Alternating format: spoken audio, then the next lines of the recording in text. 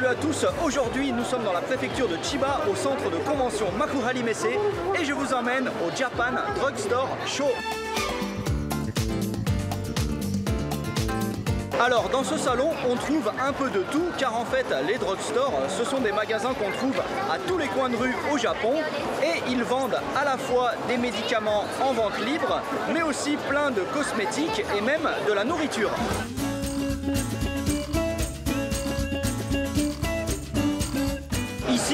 Stand qui vend tout un tas d'insecticides et c'est l'occasion pour moi de vous présenter une bestiole ultra célèbre au Japon, le Gokibuli. Et oui, vous ne le savez peut-être pas, mais au Japon, l'été, il y a plein d'énormes cafards, des espèces de blattes géantes, des comme ça là, bien moches, bien immondes. Et d'ailleurs, sur ce stand, ils en montraient même des vivantes.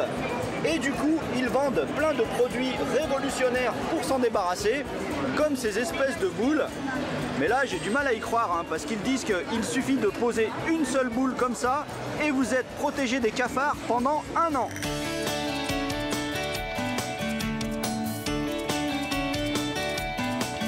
On est sur G1, donc je ne résiste pas à l'envie de vous montrer quelques produits un peu otaku que l'on trouve dans les drugstores. Il y en a tellement, cela va de la brosse à dents Lilakuma jusqu'au récipient pour liquide pour se laver les mains au shampoing Doraemon et Ampamman. À côté, on a des gâteaux Super Mario, des bonbons au pudding de mon héros Gudetama et en bas, un truc que j'adore, alors ce sont des bonbons Super Mario Maker, mais en fait vous placez le colorant vous-même et ensuite vous extrayez les formes des personnages. Bref, il n'y a que l'embarras du choix.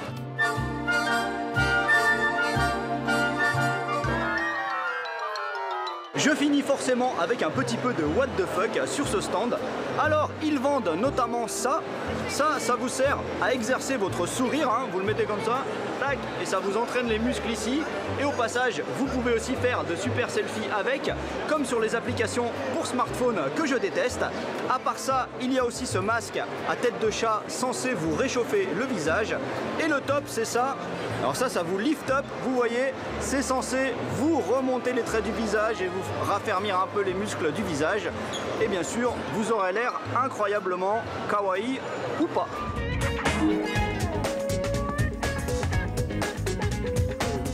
J'étais un peu inquiet parce que Japan Drugstore Show dit comme ça, ça fait pas rêver, mais finalement c'était un événement beaucoup plus fun que prévu. Allez à plus, ciao